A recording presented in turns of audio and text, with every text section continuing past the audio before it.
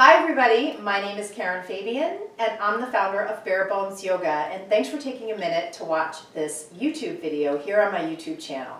So if you've been here before, you know that all of what I do, for the most part, is I talk about anatomy in the context of yoga and that's always a really important place to start, talking about the context because there are lots of different applications for the topic of anatomy. Certainly the most obvious one is in medicine, and then there are a lot of other movement-based therapists and professionals who need to understand anatomy. In the clinical setting, there are people like physical therapists and occupational therapists, and then in the exercise science world, there are people like massage therapists and personal trainers, and then in the yoga world, of course, there are yoga teachers. And I think it can be really helpful to think about the context within which you need to learn anatomy because that really forms just a, a really natural perimeter around the kinds of things you're going to need to know and within each topic, how deep you're going to need to go in terms of knowledge. And so what I'm going to share with you today is something I have shared before. So if you've watched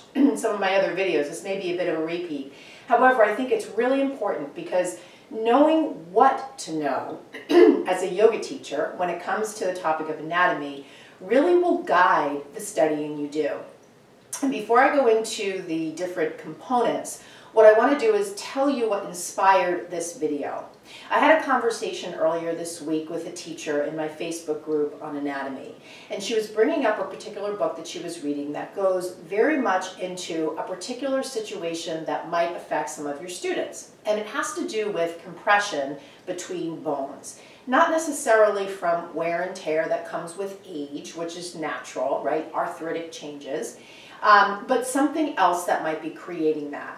Now, while this is definitely something that might be affecting some of your students, it's very, very niche, meaning it's a very small number, and it's something that if you were to study it as a yoga teacher, it would be really critical that you understand all the basics of anatomy long before you start to dive into these niche topics. And so this is something that inspired me to do a refresh on the kinds of things that you need to know as a yoga teacher.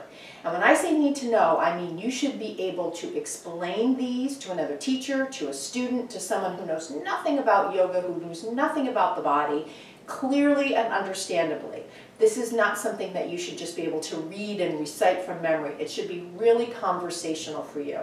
Because let's face it, when we're teaching, that's what we're doing.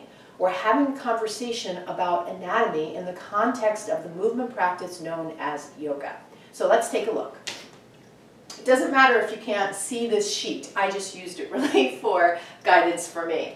So the first thing is key anatomical terminology. It's important you understand and be able to explain the different anatomical movements the body makes. So flexion and extension, internal and external rotation, dorsiflexion, supination, lateral flexion, all sorts of things like that.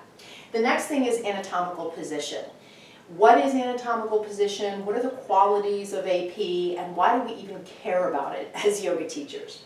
The next thing is key bones, and notice I said key, so I don't mean all bones, key joints and key muscles. So this is really where the deep dive occurs, at least within the context of the approach that I have here. This is where you're going into naming, you're going into identifying origin and insertion of muscles, talking about the function of the muscles, again, key muscles.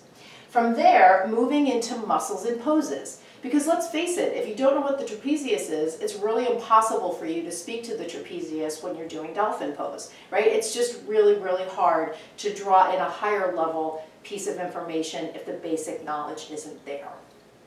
From there, moving into an understanding of fascia and the technique used in fat with fascia, which is myofascial release.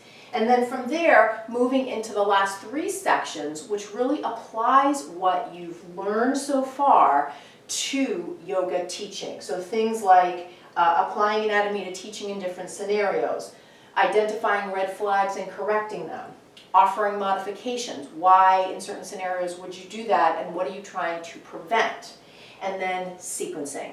Now, I didn't necessarily write cues down here specifically. However, I want you to note that providing cues and providing sequencing ultimately is the way that all of this knowledge comes together. Because let's face it, as yoga teachers, our language, uh, what we know in terms of how we say it, is expressed in two ways primarily.